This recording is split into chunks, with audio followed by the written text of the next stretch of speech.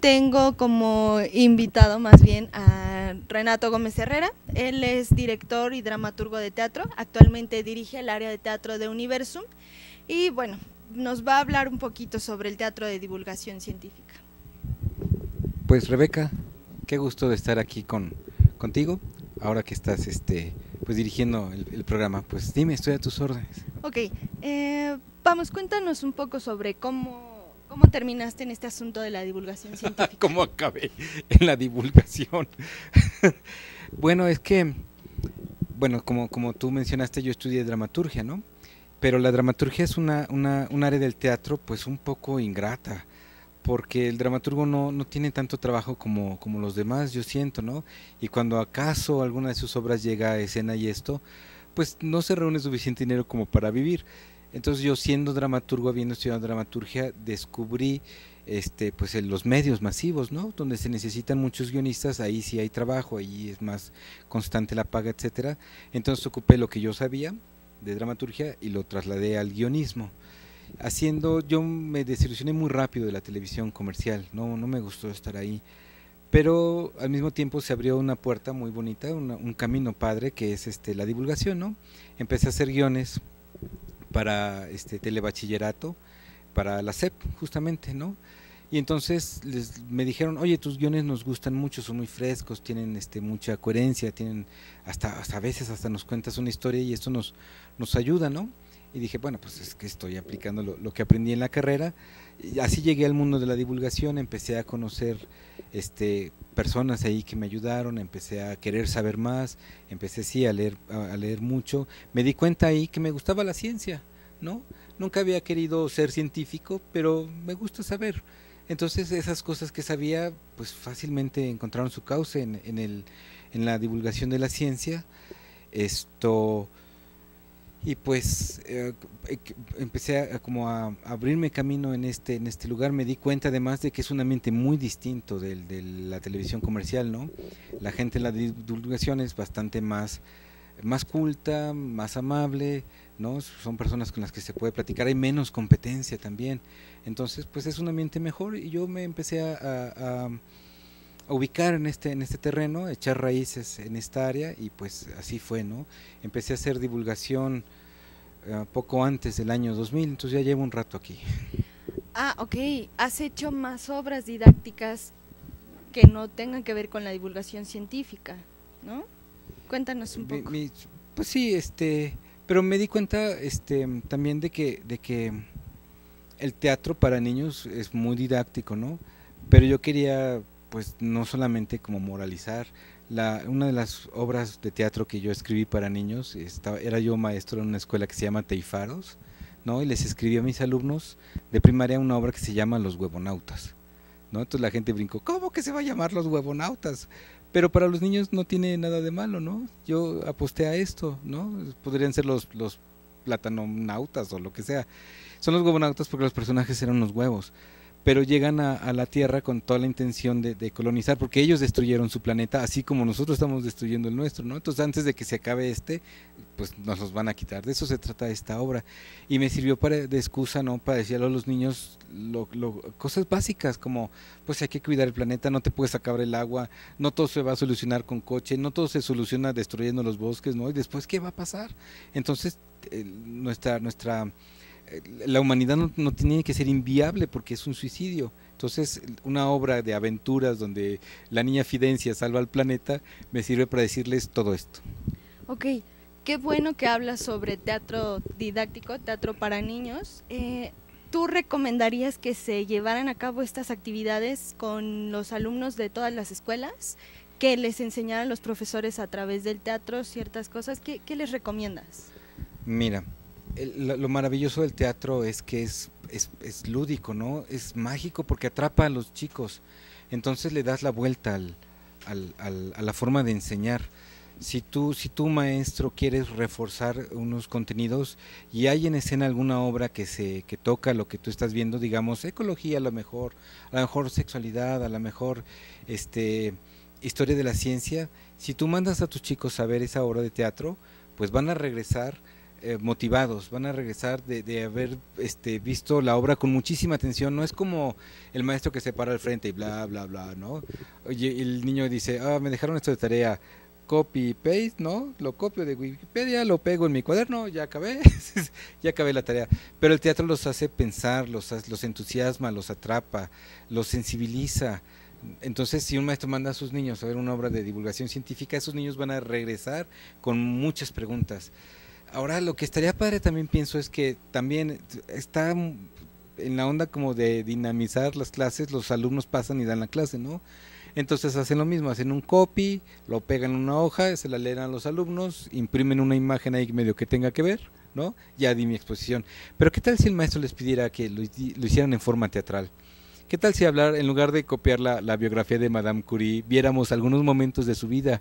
Cuando Marie Curie fue muy pobre, por ejemplo, en su Polonia, ¿no?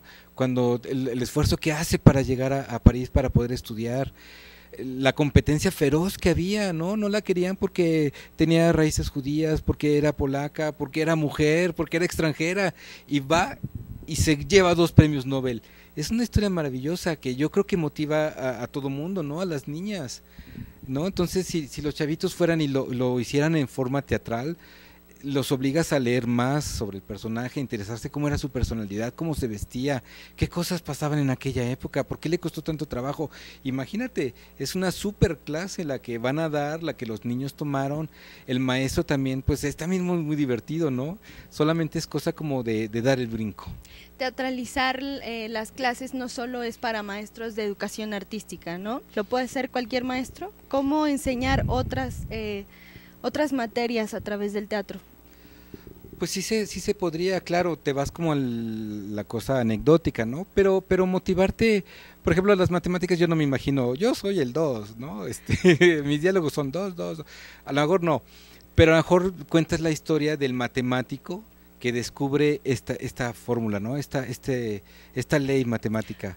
Un buen ejemplo lo tienes tú en Universum, ¿no? Háblanos un poco de una de tus primeras obras de teatro en Universum, el, el laboratorio del Dr. Ross. Cuéntanos. El laboratorio del Dr. Ross es una obra maravillosa porque es muy divertida y habla de química, ¿no? Entonces los chavos llegan a la secundaria, que es cuando empiezan a ver química, derrotados ya llegan con la, con la onda de que la química es pesada, es difícil, es aburrida, me van a reprobar.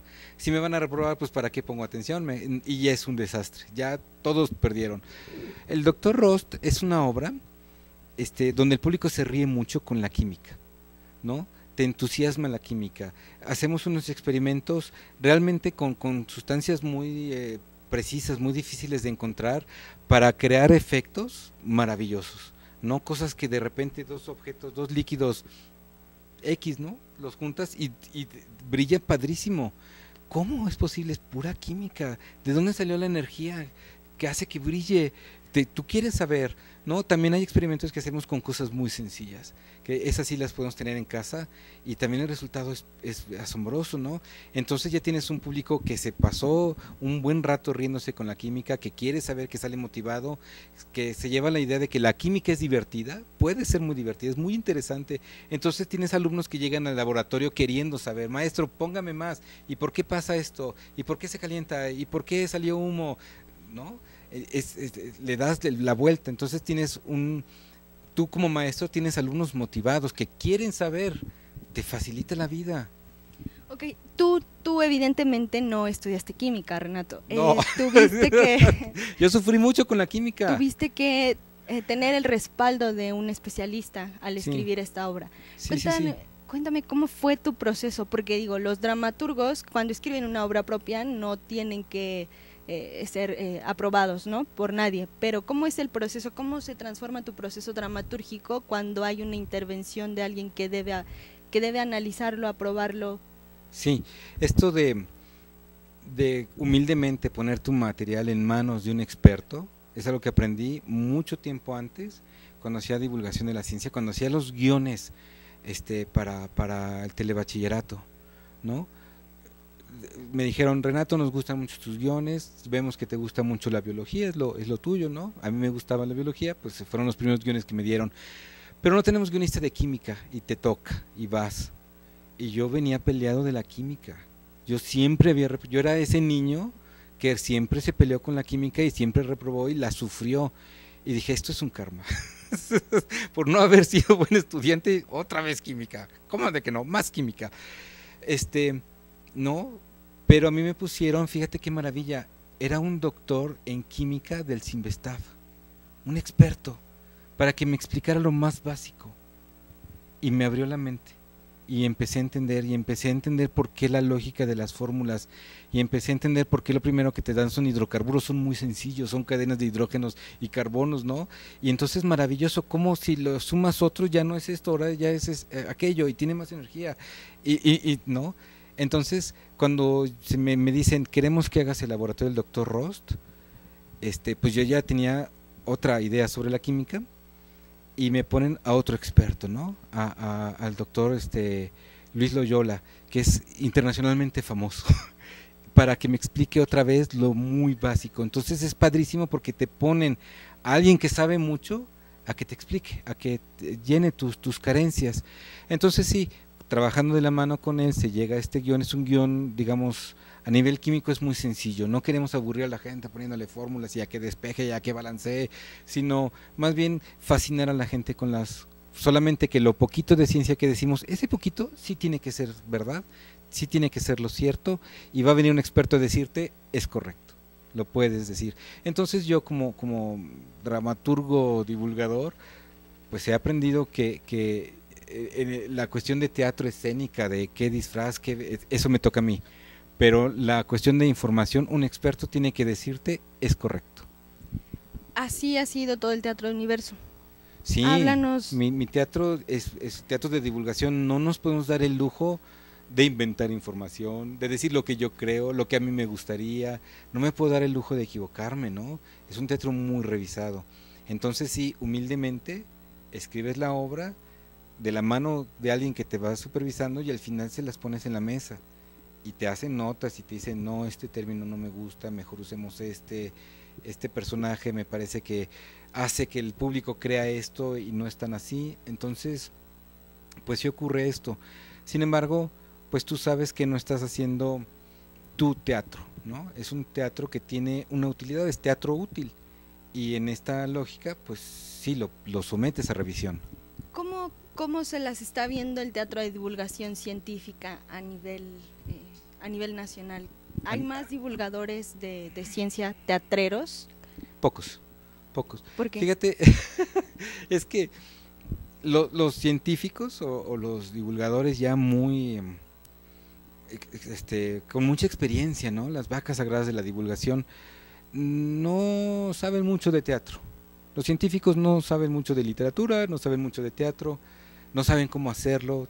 El teatro, hacer teatro tiene una, una una lógica y si tú llegas y dices, yo voy a hacer teatro aunque no sé hacerlo, lo que va a pasar es que esa, esa soberbia, pues la, la, acabas pagando, ¿no? Vas a, te va a ir mal. Entonces los, la gente de ciencia no sabe hacer teatro. La gente que hace teatro no sabe de ciencia, no quiere saber de ciencia, vienen peleados de las ciencias, siempre les fue mal en ciencias y lo último que quieren es hacer teatro de ciencia, ¿no? Y cuando lo llegan a hacer, les va mal también, ¿no? Que tú tengas a alguien que hace teatro, que estudió teatro, que lo, que lo hace profesionalmente y que le guste y le sepa a la ciencia, pues es una combinación rara, no hay muchos, no, no hay muchos, ¿no? Entonces los, los divulgadores teatreros, pues estamos contaditos. Mm. ¿Qué, qué, qué características tiene que tener una obra de teatro de divulgación científica para que pueda ser del gusto del público, para que atrape al público, para que cumpla esa misión de, de enamorarlos de la ciencia? Sí, pues e, es, que esa es la pregunta, ¿no? El, el, cómo yo lo logré y el cómo hicimos un teatro que a la gente le gusta y que está dispuesta a pagar por verlo y que está dispuesta a mandar a sus alumnos a verlo, es un, es un, pues sí, sí tiene una fórmula, ¿no? Decía un, amigo y un maestro hace mucho tiempo, para esto se estudia. Entonces, digamos, está el divulgador que no sabe hacer teatro, que no sabe hacer dramaturgia y se pone a escribir teatro, ¿no? y entonces cree que le hace un bien al público retacando la obra de datos, de datos duros, de cifras, de nombres que no explicas, pero ahí están, para que se vea que es divulgación, ¿no? Entonces lo que pasa es que el público llega, se sienta, rebota y, lo vacunas en contra del teatro de divulgación científica, no quiere volver a saber, ¿no? Lo que no te puedes permitir es aburrir al público, nunca, y menos en esta cosa, ¿no? Esa es la clave. La clave es que tú, que si llega un papá y acompañando a su hija que la dejaron ir a ver la obra, ese papá también se la pase bien y se divierta y salga contento y se rieron y aprendieron o se emocionaron o se lleva muchas preguntas en la cabeza y si alguien que no pensaba ir a ver teatro de divulgación, ¿no? que no, no pensaba verlo, no era mi objetivo, pero me tocó verlo, ese público también se merece pasársela bien. Entonces, por ejemplo, en, en Alicia en el laberinto, ¿no? Van los papás porque tienen que ir con el niño, no lo van a dejar al niño chiquito solito en el teatro. Ese papá se está riendo y se está divirtiendo y se emociona y abraza a la hija y todo el rollo, ¿no? Salen muy contentos. Entonces, primero es teatro, o sea, primero es un espectáculo, y luego es divulgación. No al revés porque rebotas, ¿no?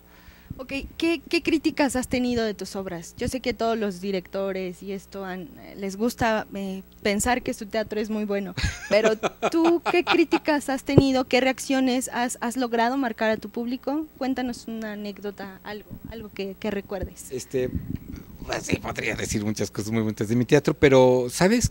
Cuando la gente es la que habla, y este es pues es, es como no, no, están obligados a hacerlo. Cuando estrenamos Doctor Rost, eh, eh, sobre todo al principio me gusta mucho estar en cabina, este, ver que la obra corra bien, tomar notas para los actores, estar pendiente del técnico, etcétera, ¿no? Y entonces yo me di cuenta que los niños que entraban al teatro decían los diálogos antes que el actor. ¿Por qué? Porque ya la habían visto y fui a preguntar y el niño arrastra al papá de llévame otra vez. No, entonces un niño que quiere volver a ver la obra de teatro. o sea, ¿no? ¿Qué, ¿Qué, mejor que eso? Con, con Melatex mucho, este, que es una obra que está hecha para derribar los muros entre papás e hijos y se comuniquen en el tema de, sexualidad. Mi, mi experiencia, que lo, lo padre fue cuando personas ya mayores que siempre habían sido muy reservadas, que estaban muy censuradas, autocensuradas en cuestiones de sexualidad, nos contaban, ¿no? Es que yo cuando la primera vez que fui a comprar un condón, la señora me regañó y me preguntó si era yo casado, ¿no? Entonces logramos que ese señor nos pasara su experiencia, nos platicara, lo logramos, ¿no? Entonces, si al público le gusta, si el público se lleva, cumple tu objetivo, pero además se va contento y te recomienda, pues eso te dice a ti, dramaturgo, objetivamente si la obra va bien. Entonces, ¿tú consideras que el teatro y esto, bueno, hablando a, grandes rasgos y, llevando a escala eh, todo esto que me dices, tus experiencias como dramaturgo y con los divulgadores, eh, es lo mismo, llevarlo a escala a las escuelas, dirías que podría darse esa conexión entre el profesor y el alumno y posteriormente entre el alumno y sus familiares y así crear ese vínculo de curiosidad a través de, datos curiosos entre el maestro y el alumno, eh, entre los padres y el alumno, lo que el alumno aprende. ¿Cómo, cómo ves? Cuando tú mandas a los niños al teatro, los motivas, los dejas sensibles quieren saber más, quieren opinar, porque ahora ya tengo información y esta información yo la proceso y tengo algo que decir al respecto. Si pudiéramos hacer que, que los maestros dieran clases más teatrales, por ejemplo, ¿no? Y que los niños estuvieran atentos porque no sabemos de qué se va a disfrazar el maestro el día de hoy. ¿no? Y entonces que llegue y te diga, hoy me puse esta peluca porque vamos a hablar sobre Newton, Entonces yo no tenía una peluca, una peluca de Newton, pero me traje esta que era, ¿no? Y les voy a dar la clase, entonces los vas a tener fascinados. Y si dices, este, la próxima obra le toca al equipo tal y ellos nos van a hablar sobre X personaje, pues obviamente creas más expectativa. Y en el proceso los chavos se van a divertir y van a tener un bonito recuerdo de aquellas clases, va a ser algo memorable. Y no solamente de lo copio, de lo pego. Ok, bueno, eh, eh, pues ha sido un gusto eh, estar aquí el día de hoy en este programa entrevistando al conductor de, cada programa. Eh, bueno, para despedirnos, eh, invítanos a ver las obras de teatro de Universum, que los maestros vean un ejemplo de lo que pueden hacer con sus alumnos, que vayan. Sí, sí, sí. Pues bueno, Universum es un museo inmenso, es un museo padre, es un museo que se está renovando, que tiene salas nuevas, tenemos una sala nueva del agua, hermosísima, tenemos cosas, todo el tiempo hay cosas nuevas, muchas actividades, ¿no? Si, si los papás tienen ganas de que sus hijos se acerquen a la ciencia, un buen camino, un buen puente es Universum, ¿no? Hay conferencias, hay talleres, hay ta, ta, ta, nunca se acaba y todo el tiempo nos estamos renovando. Universum tiene teatro, tenemos cinco obras de teatro, tenemos más teatro que, centros culturales que, ¿no? con mucha tradición. Universo tiene más teatro, más títulos. Es un teatro a muy buen precio. Universum no lucra con su teatro, más bien queremos que venga mucha gente porque cumplimos nuestro objetivo de, sensibilizarlos a favor de la ciencia. Es un teatro de muy buena calidad porque esos los estándares que nos hemos propuesto tener. Entonces, ¿qué tienen que hacer para ir al Teatro de Universum? Todo nuestro teatro está en fines de semana, sábados y domingos. Tenemos teatro para chiquitos, para adolescentes, para gente que le gusta la ciencia más dura, ¿no? Con el radio de Marie Curie. Queremos que los eh, papás y maestros se enteren del bullying. Entonces lo que tienen que hacer es ponerle ahí en el buscador, ¿no? Museo Universum. En la página vas a encontrar todas nuestras actividades y toda nuestra cartelera. Y yo solamente quiero pues despedirme diciendo, los maestros entran gratis a nuestro teatro. Ahí viene cómo darse de alta, cómo los podemos recibir, para que no paguen, para que se diviertan y para que pues eventualmente nos manden a sus chicos. Bueno, eso sería todo aquí en eh, el Teatro Universum, en TGS TV. Muchísimas gracias.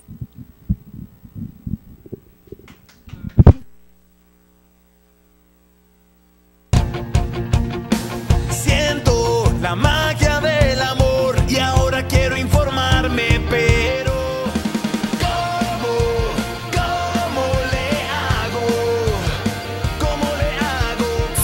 edad para enamorarte, tienes edad para cuidarte. Entra a gov.mx diagonal como le hago e infórmate de todo lo que te interesa sobre educación sexual. Es tu vida, es tu futuro. Hazlo seguro.